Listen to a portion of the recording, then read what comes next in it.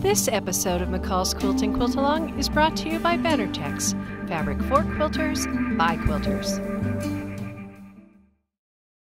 Hi, welcome back to the McCall's Quilting Glorieta Quilt Along. I'm Laura Roberts, and I'm the person who gets to play with all the fabric and play with you. So this week, we're going to be doing half blocks. This is half block D. And half block D comes in two colorways.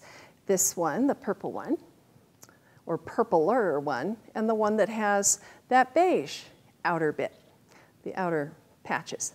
So I'm going to show you how to put these together. They aren't hard to do at all. They're just a few little tricks, and I'm going to show you how to join them to one another because that's the only place where it could get a little confusing. So one thing about these blocks is that you really have to match point, you draw match points in some areas. Okay, not all of them, but in some. So the most important ones, if you aren't going to do match points on anything else, do match points on these little triangles. These little triangles are how you're going to um, align two, trying, two of your big pieces together. So you really need to have it on the back of that little piece. And you also need to put them on the back of this little piece. Okay? This, believe it or not, this piece doesn't really have to have them. I've marked them on here, but I wouldn't really have to. If you're only going to mark a couple, it's this one, this one, and this one. Okay?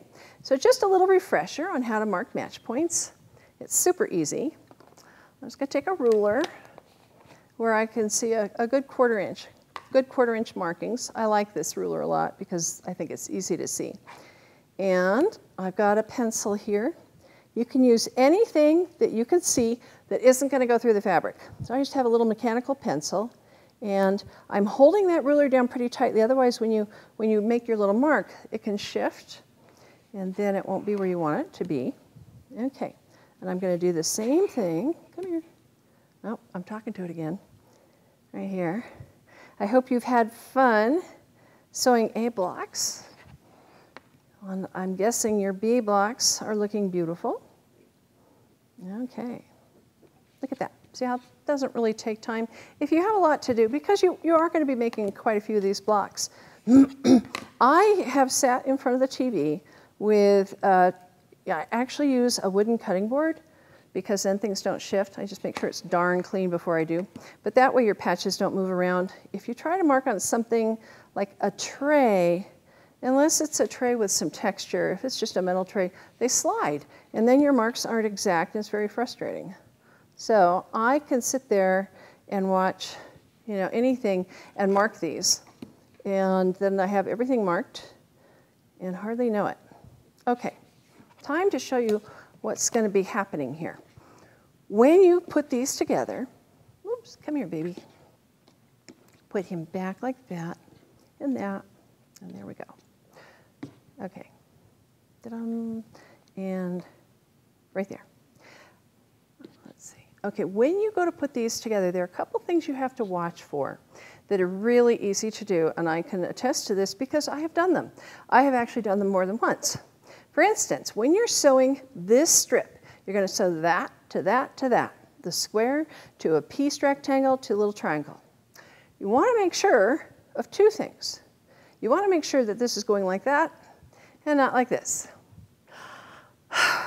I sewed about five this way and had to take them all out. Oh, I'm going to make sure it's like that. And then the other thing is the triangle. You really need to have these all laid out to know what direction it's supposed to be in because it's really easy to go, oops, but you don't know it's a problem until you get it back over here and you have to take it out. So I'm going to make sure I have things aligned properly when I pin them together. Another thing, if you haven't done the cutting for this yet, and I'm guessing you haven't because we've told you to cut as we go along, use starch on these pieces, on this fabric, or starch alternative because you have bias here, bias here, bias here. Things are really moving and a little starch can help you out. Okay, I'm not going to show you how to piece these because of course you've pieced lots of them. But I am going to show you the piecing order for this. All right, this would get sewn to that in a, you know, your standard, sew it together like that. And then this is added by aligning these corners, okay? So you're gonna have a little point sticking out. And that's what it's supposed to look like. Okay, and then when it's sewn on, it'll be there. Then you're going to sew these two together. It's kind of like three columns. Now, when you sew this to this, you are going to want to align these corners, okay? So you're going to put them right sides together and make sure that those corners match up, line up, like that. And you're going to stitch along here, and then that will open up and be sewn together. And again, you're going to have this point sticking out over here, and that's fine. You're supposed to. Then, what you're going to do is you're going to add this guy on. Now, you're going to be sewing that to that first. Same old, same old. You're just aligning seam allowances. And then this guy, when he goes on, you'll see that's still going to be sticking out a little bit. No problem. You align that at the corner. Just the corner goes together, you sew it, you flip it out, and then you'll be trimming some things that stick out. You just want to make sure you're trimming them so they're a quarter of an inch from the points. And by quarter of an inch, I don't mean a quarter of an inch this way. I mean a quarter of an inch measuring straight in from your raw edge. So, because this had a point sticking out, so I'm going to go ahead and put my ruler on this way just to check it. If you're actually wanting to trim, you're going to put it, put the ruler this way with that quarter inch mark going right across that intersection, just like that. And then you can trim with your rotary cutter. And I would do the same thing down here. And you may wish to use a longer ruler but I really don't want you trimming much of anything else. I just want you trimming out those points. And I wanted to show you how, see how this guy looks wonky? That triangle looks like, oh boy, something's really wrong there. See how it kind of swoops? That is not a problem. It just means that the bias here has stretched a little bit. And when I sew it to the next patch, I'll just bring it back in line. And then when this gets sewn to everybody else, it'll just sit right down. If you're really bothered by it, you can spray it with a little water and just kind of put it back where you want it to be but you don't have to. Okay, so once you have these guys all made, for each side of the, the triangle border, you're going to need five of the D half blocks with the beige going around the outside and four with the purple. So four of these and five of these. Okay, the way you sew them together into this big long strip is you're going to sew them by twos. You don't want to try and sew the whole thing at once because then you're trying to put that all through the machine every single time. So instead, what I did, and I know this is too long for you to see the whole thing, but you can see enough here. I first, I just laid them out in the right order. And it's going to look like this, like that, and like this. In your instructions, you'll see it aligned the way it's aligned in the quilt. It's going to be on point in your pictures in your illustrations.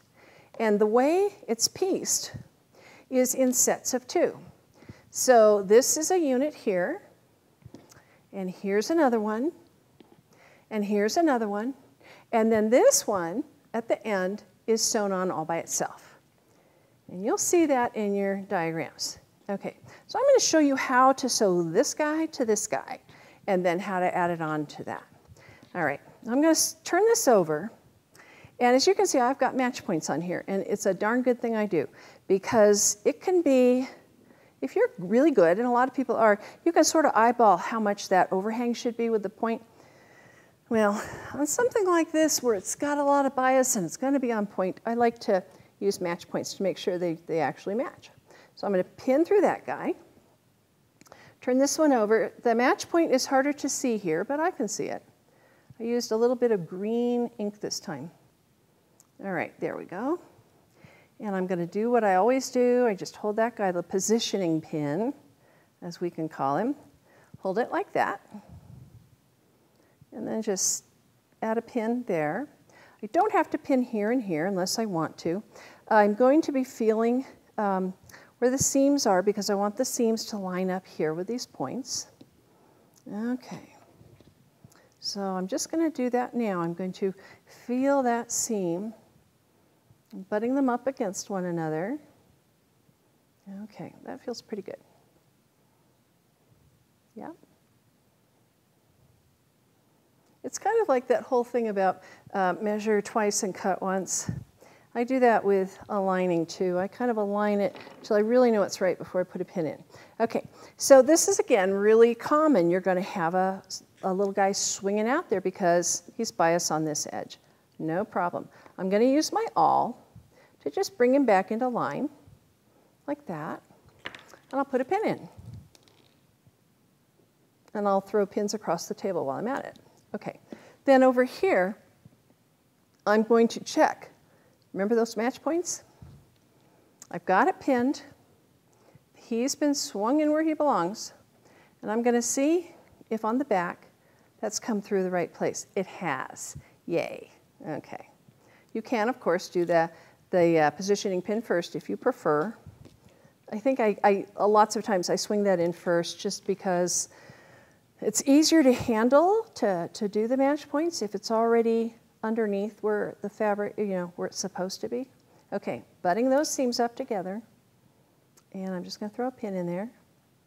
And now I'm going to sew from here to here, okay? Alrighty. Get that guy going. And move my little pin cushion over here. Okay, so I know this is aligned properly.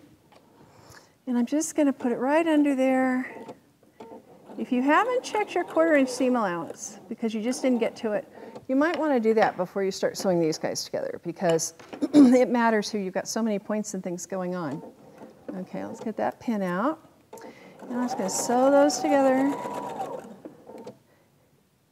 Okay, and right here, because there's so much fabric in that seam allowance, it's kind of poofed up, the awl can also just push those down so they, they lie down the way you want them to when you go under there. Just don't stitch on top of it. If you don't have an awl, I heartily recommend one. You go get one. It doesn't really matter what kind as long as you're comfortable with it. Whoops. Okay, come here, baby. There it is. I want to make sure I can see that purple fabric at least a little bit underneath to make sure they're aligned. Alrighty. I'm feeling under here to make sure my seam allowances are lying the way I want them to. Okay, right there.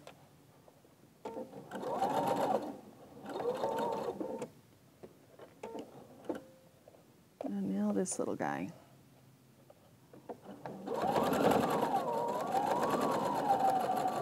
And move that pin. Okay, right through that match point. There we go. And I'll cut that off. And cut that off. And now over to the iron. Move my little marking people out of the way. I know they're not really people, but close enough. Okay, so now I'm just going to do this, the, you know, setting the seam. Give it a little pressing right there. Okay, and then I'm going to open it up. And here's something a little different. Something I don't do very often, but I do it with this because there are so many points and things that can, if you bend that fabric, the seam allowance in that just one direction, you have one, two, three, four, five, six, eight layers of fabric in one point. So I press these open. You can see how I've done them here. All right, so what I'm gonna do, it's really simple. You're just gonna use your fingers to pull it apart like that and then press. Don't press your fingers. And please don't use steam. When you have your fingers close to the pressing like we do here, if you've got steam, steam going, you're going to get burned because the steam will come right out around the edges of the iron and you're going to get burned. Now right here, it's having a hard time separating. I'm just going to use an awl. I could do it with my fingers, but I wanted to show you how this works. Like that. And you just lay them down. Okay, there we go. And now that it's pressed open, it's going to be flatter when it goes together with everyone else. Okay, so that's sewn on. And this seam where you sew it to the main strip is exactly the same. It's what you just did. You're going to do the same thing. You see how those went together to form a diamond, and these form a diamond or a square that's two colors. You're just doing the same thing. So you would align them like I just did. You're going to align them and then watching your match points, and then you're going to sew them together. And that's all there is to it. The only thing that might be a little weird is when you sew this one to this one, if that feels because that's already been sewn, all you're doing, your match point is going to be right on the seam. Okay, so you can just pin right through like that. Okay, and that's it. So you're going to be making four of these, and they're fun to make. They're really beautiful. I, I love this. The design of this is really cool because this is not something you do every day. To make half a block and connect them diagonally, that's something different, and it's it's fun. It's fun to do something you haven't done before, and just something a little out of the ordinary. So, I hope you uh, are having fun with this. I'm really enjoying it myself. I, the fabrics always make it for me. So this is um, the ribbon floral collection from Benartex, and of course we have a kit, so you can have the same fabrics that I do. If you want to get the kit, just go to mccallsquilting.com slash quiltalong, and the information for ordering the kit will be there. And your homework is to make your strips out of your half blocks. So I hope you're having fun. I hope you're, well, if, if you've got, if you're like me and you have these fabrics, you're, you're doing some weird little petting things that, ooh, I, I wanted to show you something. I don't know if you, you probably can't see it with this lighting. If you, when you get the fabric, take it to a window on a sunny day, and when you tilt it like that, it's like all these little sparkles, like sun on waves. It's the coolest because of these teeny tiny little metallic dots. So, yes, I know, I'm, I'm a fabraholic. It's true. Okay, so that's it for this time. I will see you back here next time, and as always, thank you so much for joining me. I really feel that I feel your presence and I feel your your participation, and I just I appreciate it so much because it's so much fun for me to get together with other quilters, even if it's through a camera. So have fun this week. I'll see you back here next time, and next time we're going to go on to another block. Uh, thanks so much. Have a good time sewing. This episode of McCall's Quilting Quilt Along is brought to you by Benartex, fabric for quilters by quilters.